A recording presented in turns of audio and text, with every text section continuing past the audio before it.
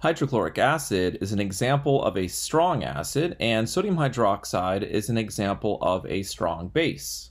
Let's say we are titrating an unknown concentration of hydrochloric acid with a known concentration of sodium hydroxide. Let's say it's 0.20 molar. Because we know the concentration of sodium hydroxide, we call that the titrant. And because we don't know the concentration of hydrochloric acid, we call that the analyte. And when our strong acid, hydrochloric acid, reacts with our strong base, sodium hydroxide, the products are an aqueous solution of sodium chloride and water. As a quick review of how to write the overall or the complete ionic equation for a strong acid strong base reaction, remember that sodium hydroxide, being a strong base, dissociates completely in aqueous solution to form sodium cations and hydroxide anions. Hydrochloric acid, being a strong acid, will ionize completely in aqueous solution to form H plus ions and chloride anions. Sodium chloride is a soluble salt, so in aqueous solution, we would have sodium cations and chloride anions. And of course, we'd also have water. When writing the net ionic equation, we cross out the spectator ions. So since we have sodium cations on the left and on the right, we can cross out the sodium cations. And the same with the chloride anions. So both of those are the spectator ions. What we're left with is our net ionic equation. So one way to write the net ionic equation for a strong acid, strong base reaction is hydroxide anions plus H plus cations form water. And our goal for the strong acid, strong base titration is to find the concentration of hydrochloric acid using a titration curve. Let's say we do our titration and we come up with this as a titration curve. For titration curves, you put the pH on the y-axis and the titrant on the x-axis. So in this case, we're adding base to our solution of hydrochloric acid. And before we use our titration curve to find the concentration of hydrochloric acid, let's go through the titration curve and look at some particulate diagrams. And as we look at particulate diagrams, keep in mind they're just to help us understand what's going on in the actual solution. So they're just a representation. And we're also going to leave out um, water molecules uh, for clarity purposes. So let's think about this point on our titration curve. So that's zero milliliters of base added, meaning we're starting only with hydrochloric acid. So there are two H plus particles and there are two chloride anion particles.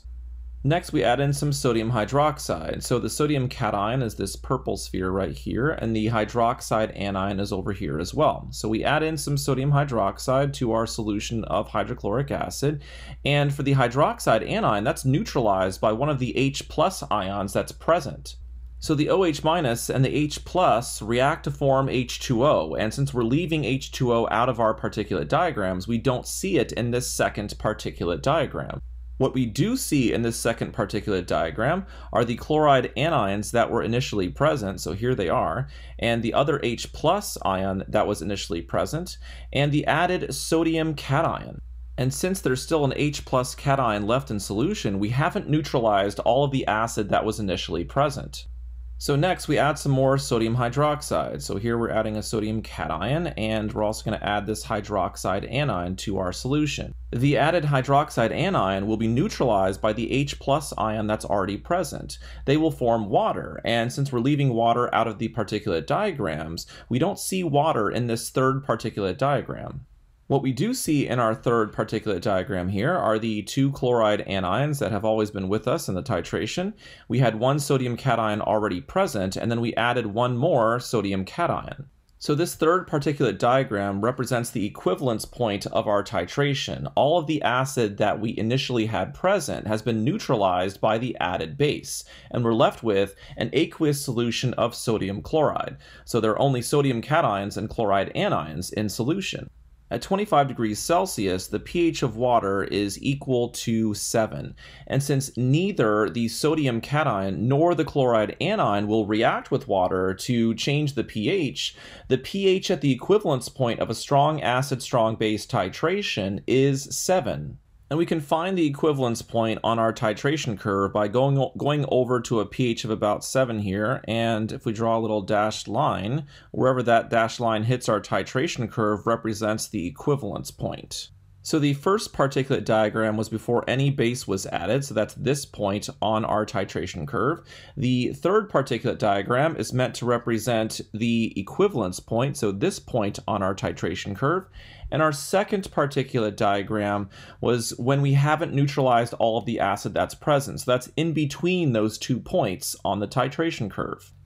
Also notice how steep the graph is around the equivalence point of this titration. Therefore, adding very small amounts of base around the equivalence point causes large changes in the pH of the solution. Let's go back to our particulate diagram at the equivalence point and let's add some more sodium hydroxide. So we add one more sodium cation and one more hydroxide anion.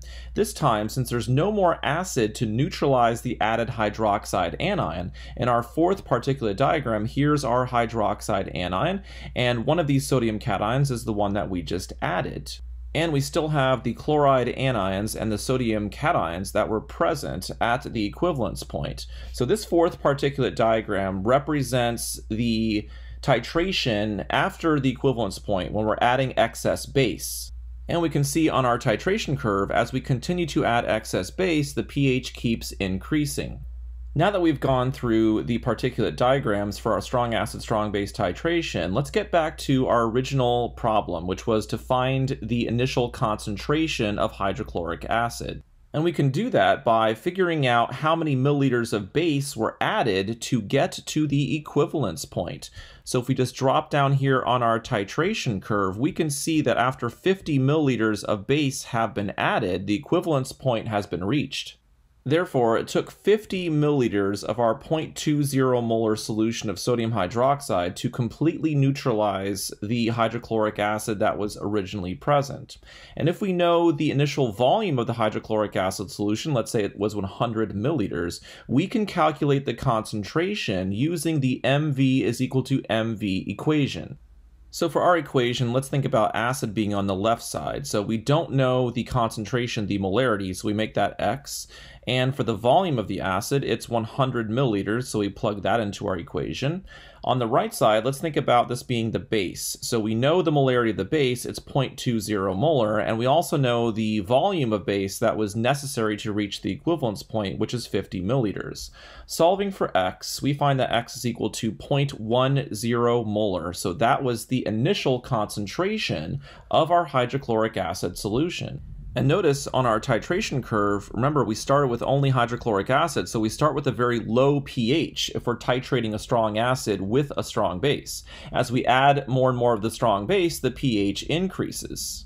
We've just looked at the titration curve of a strong acid with a strong base.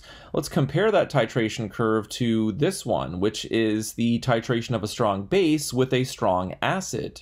Since we're starting with a strong base, notice how the initial pH is very high. And since we're adding acid, notice down here on the x-axis, it now says milliliters of acid added. As acid is added, we can see the pH dropping slowly, and as we approach the equivalence point, we see a large drop in pH with small additions of acid. However, the pH at the equivalence point is still equal to 7, so if we find a pH of 7 on the y-axis and go over to, to our titration curve, this point represents the equivalence point. And we could drop down to the x-axis and we would see it took 20 milliliters of acid to neutralize the base that was initially present. Finally, once we go past the equivalence point, we can see as we add more and more acid, the pH keeps getting lower. So this titration curve of a strong base with a strong acid is essentially the reverse of the first titration curve that we saw, which was the titration of a strong acid with a strong base.